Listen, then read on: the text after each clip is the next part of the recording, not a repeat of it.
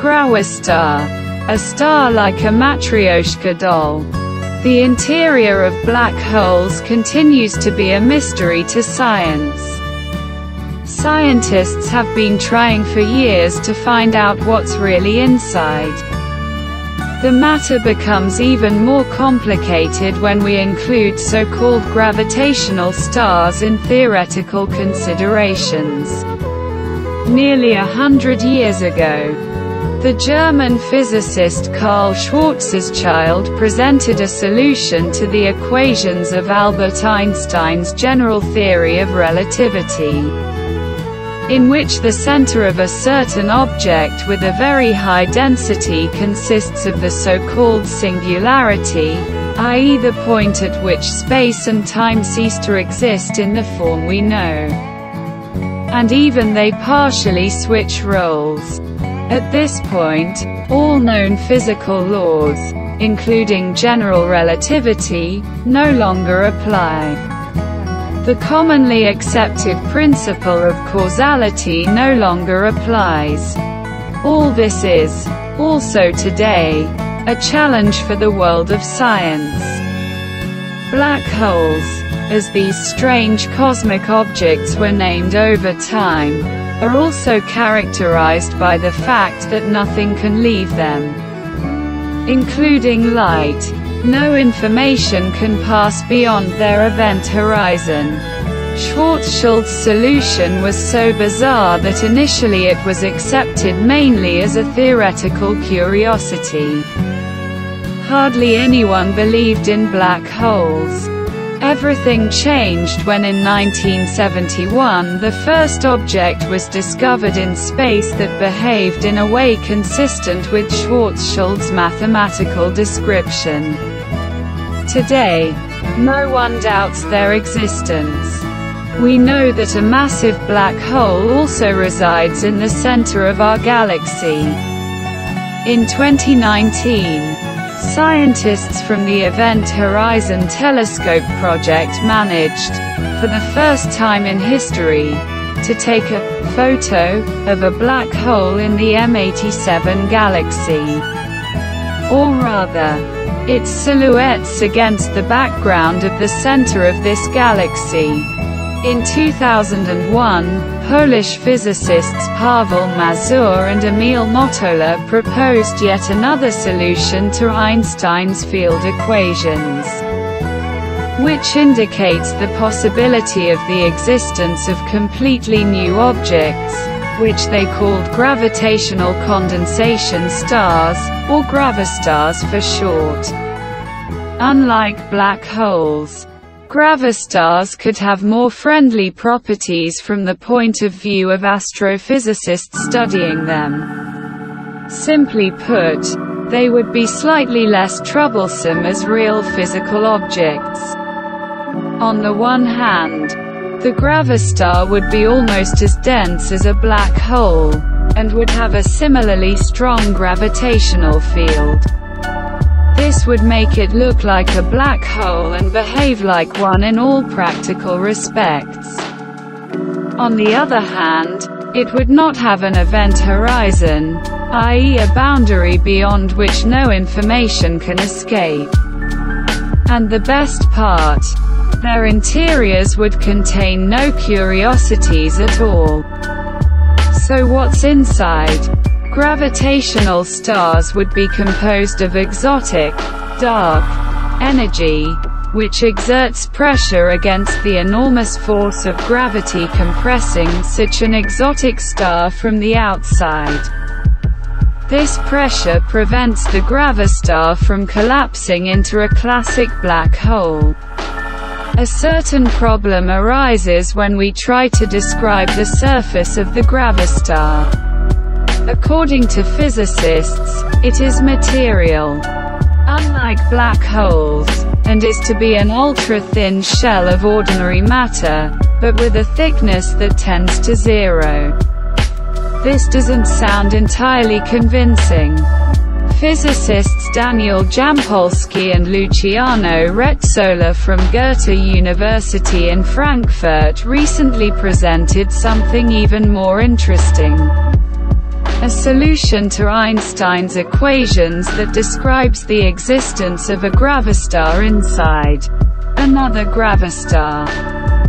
This hypothetical object was given the name Nestar, from the English term nested. Daniel Jampolsky, who discovered this solution as part of his bachelor's thesis written under the supervision of Professor Rezzolla, compares nestars to space matryoshka dolls. It's literally a star within a star. The solution also allows for the existence of a whole series of gravastars nested within each other in this way. What is important is that while the gravastar proposed by Mazur and Mottola has an almost infinitely thin shell of matter, the shell of the Nestar is clearly thicker. It is therefore easier to imagine, and perhaps even believe, that such an object could really exist. It's great that even 100 years after Schwarzschild presented his first solution to the field equations in general relativity, new solutions can still be found. It's like finding a gold coin on a path that has already been explored by many other people, says Professor Rezzolla. The description and results of the research were published in the journal, Classical and Quantum Gravity.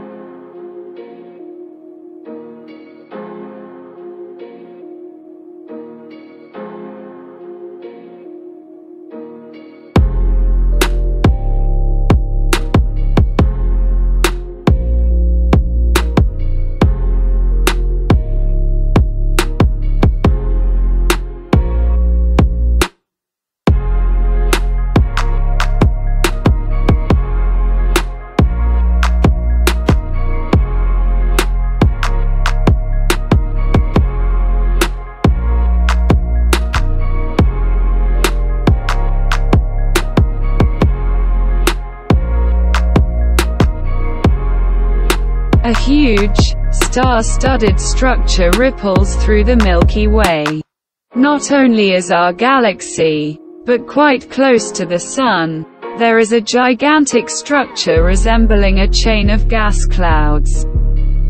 There are several hundred million stars in this gas, and millions more are still being formed. The discoverers called this strange object the Radcliffe wave because, when it was first discovered. It looked like a huge wave rolling across the Milky Way. The name also commemorates the Harvard Radcliffe Institute, whose employees were the first to notice the structure. They detected it somewhat by accident, while creating a map of the dust distribution in our galaxy as part of a project aimed, among other things, at mapping in three dimensions the locations of so-called stellar nurseries in the galactic neighborhood of the Sun. The discovery took place several years ago. At that time, it was not precisely checked how the stars belonging to the wave moved within it, how quickly and in what exact directions. Back then, Scientists simply didn't have observational data precise enough to show that the wave actually moved, like a wave. Now astronomers in the journal Nature have presented new evidence that it is a wave in the most literal, physical sense. In science, the word, wave, means a certain regular disturbance a change in the value of some physical quantity, for example pressure or electric field, spreading in a given environment. In this case, we are talking about a wave composed of gas and stars oscillating in time. The stars contained in it alternately rise above the plane of the Milky Way disk and then fall again. We could say that the Radcliffe wave is the largest single gas structure known to us. It extends for 9,000 and is 400 light-years deep. The diameter of the Milky Way is about 100,000 light-years. So this gigantic wave runs through nearly one-tenth of the entire galaxy. At its closest point to us, it is only 500 light-years away from the Solar System. For comparison, the closest star to the Sun, Proxima Centauri, is 4.24 light-years away, and the closest galaxy, the Andromeda Galaxy, is 2.5 million light-years away. A little more information about the Radcliffe wave has recently been obtained with the help of new data collected by the European Space Agency's Gaia probe. After careful inspection, it turned out that young star clusters, which are also part of the wave, rise and fall exactly in the pattern of waves spreading across the galaxy. What's even more interesting is that the wave appears to radiate from the very center of the Milky Way. Thanks to the movement of young stars in gas clouds spread along the wave. It is also possible to trace the movement of the gas surrounding them and thus prove that it moves like a wave. However, it is still unknown what caused or still drives the Radcliffe wave and why it moves the way it does. Hypotheses that could explain its existence will only now be tested in detail. They include both internal causes, i.e. those related to the galaxy, including supernova explosions, as well as disturbances that may originate from outside the galaxy. The latter includes, for example, the former collision of a dwarf galaxy with the Milky Way. Astronomers therefore have an interesting object about which little is still known. Research will certainly continue. A better understanding of the Radcliffe wave will contribute to a more complete understanding of our galaxy, including the dynamics of its spiral arms. The question also remains whether similar waves oscillate in other spiral galaxies.